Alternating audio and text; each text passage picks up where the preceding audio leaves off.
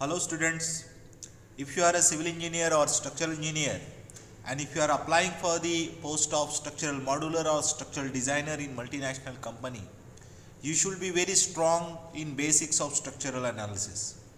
So in this series of video lectures, I am going to teach you basics of structural analysis. So today we will see what is determinate and indeterminate structures. So what is determinate and indeterminate structures? You already learned this in second year of your engineering, BTech or BE. Determinate structures means structures which can be analyzed or structures which can be solved using three conditions of equilibrium. Those structures are called as statically determinate structures. What are the conditions of equilibrium?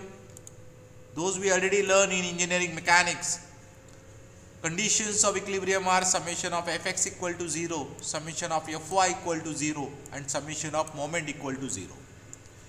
If you are able to find out the support reactions of any structures using these three equations of equilibrium, then that structure is called as statically determinate structures. For example, if you look at there are beam, beam figures are shown. This is cantilever beam, first one then simply supported beam and then overhang beam. In all these three cases, if you look at cantilever beam, there is a fixed support provided at left end and there is no support at the free end. We know that fixed support has three reactions, horizontal reaction, vertical reaction and moment. So there are three support reactions present in the cantilever beam and we have three conditions of equilibrium. It means we can analyze the cantilever beam or we can find out the support reactions using conditions of equilibrium. So it is determinate beam. Similarly, simply supported beam, left support it is a hinge support which has two reactions and right support is a roller support which has one reaction. So there are three reactions in simply supported beam. So this is also statically determinate. There is one more example is given. There are two supports provided, simple supports. Both are roller here, but if you even if you replace one support by hinge, then there will be two reactions at hinge support and one reaction at roller support. It is a overhang beam, so some portion is extended beyond the support. That's why it is called as overhang beam. So there are three reactions at one hinge and one roller support. So this is also determinate beam. So determinate structures, it means the structures in which reactions of supports can be determined using three conditions of equilibrium. Opposite to that, vice versa, there is a definition of indeterminate structures. When the reactions of supports cannot be analyzed using conditions of equilibrium, then it is called as statically indeterminate structures. Same conditions of equilibrium are applicable to these also. But if you look at the structures, for example, this is fixed beam. Both the ends are fixed. So there are three reactions at left support and three reactions at right support. Right? So total number of unknown reactions in this fixed beam are 6 whereas equations of equilibrium are only 3. It means this is statically indeterminate beam we cannot find out six unknowns by using three equations of equilibrium. So it is statically indeterminate. Similarly, second beam is cantilever with simple support at the end. So if it is a fixed support at left, there are three reactions we know and at right end there is a roller support. So one reaction. So total number of reactions in this beam are 3 plus this 1. Total are 4. Again we have three equations of equilibrium. So this beam is also statically indeterminate. Then third case here it is shown continuous beam. So we know that a beam which has more than two span or beam which has three or more than three supports it is called as continuous beam. So total number of supports in this beam are 4 whereas span are 3 1 2 and 3. So this is called as continuous beam. So now if you look at there is a hinge support. So two reactions here and roller support, three roller supports are there. So one reaction at each roller support. Total number of reactions in this beam are 5. Equations of equilibrium available are 3. So this is also statically indeterminate beam. So statically indeterminate structures means structures in which support reactions cannot be analyzed using three conditions of equilibrium. Those structures are called as statically indeterminate structures. We have few more examples of other structures like frame structure. If you look at this frame, on the left hand side there is a hinge support, right hand side there is a roller support. It has two columns and one beam, right? So since there is a one hinge support and one roller support, total reactions will be 3, 2 at hinge support and 1 at roller support. Number of reactions in this frame are 3, so it is a determinate frame. Similarly, if there is a one column, one beam, this is roller support, one reaction, this is hinge support, two reactions, total number of reactions are 3, again this is also determinate frame. But if you look at the lower figures, these are all indeterminate frames. So if you look at this two column, one beam frame, left end is hinge, right end is hinge, total number of reactions are 4, equations of equilibrium are only 3 so this is indeterminate frame.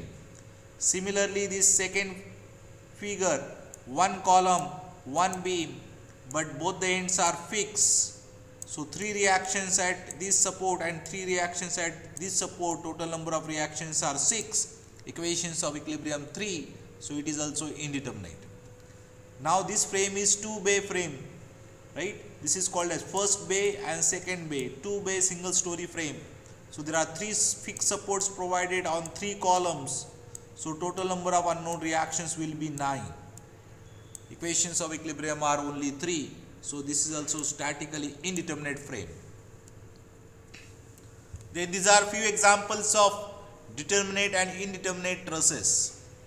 Here we are discussing only statically static indeterminacy externally. We are not discussing about internal indeterminacy. So we are dealing with only static determinate or indeterminate structures according to the support conditions provided. So if you look at these trusses, here hinge support and roller support provided at left end and right end. This is roller, this is hinge, okay so these first three examples are simply supported trusses. So all three are determinate truss because there is one hinge support and one roller support. Total number of reactions are 3 2 plus 1 these all reactions are 3 one at roller support and two at hinge support. Now fourth figure in this is a cantilever truss. We know that if it is a cantilever there are three reactions at fixed support but there is no other support provided to this truss so this is also statically determinate. And now if you look at the lower figures it is all are indeterminate trusses. So two hinge supports here. So total reactions will be 4 so it is indeterminate. 4 minus 3 there is indeterminacy of 1 if you look at the second figure there are two roller support one hinge support. Again total reactions are 4 if you look at this, there are three hinge supports provided. Total number of reactions in this are 6. So these all trusses are statically indeterminate. Above 4 trusses are statically determinate because total number of reactions in the truss are 3 only. And the last is determinate and indeterminate arches. So first left figure is determinate arch that is 3 hinge arch. So two hinge are provided at the supports ends and there is one internal hinge. So all of you know that if an internal hinge is provided, summation of moment at internal hinge is always equal to 0. So in case of internal hinge, we are getting one additional equation along with those three conditions of equilibrium, summation of fx equal to 0 that is first condition. Then summation of fy equal to 0 second condition summation of moment equal to 0 at any point. These are the three conditions. But along with these three there is one more condition we are getting and that is summation of moment at internal hinge is equal to 0 if you break the given arch into two parts at internal hinge. So in case of internal hinge the total number of equations of equilibrium become 4 these 3 plus this 1 so equations of equilibrium are 4 and support reactions left hinge right hinge. So there are two reactions at left two reactions at right.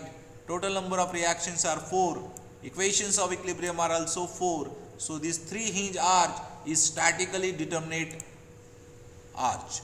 It is statically determinate structure but if you look at the other two figures two hinge arch and fixed arch. So we know that if it is fixed arch means three reactions at left support and three reactions at right support. Total number of reactions are six. Equations of equilibrium are only three here because there is no internal hinge provided. So 6 minus 3 it is indeterminate by 3 unknowns. Similarly two hinge arch, two reactions at left support, two reactions at right support. There are four reactions minus three equations of equilibrium because there is no internal hinge here also so it is indeterminate by one reaction.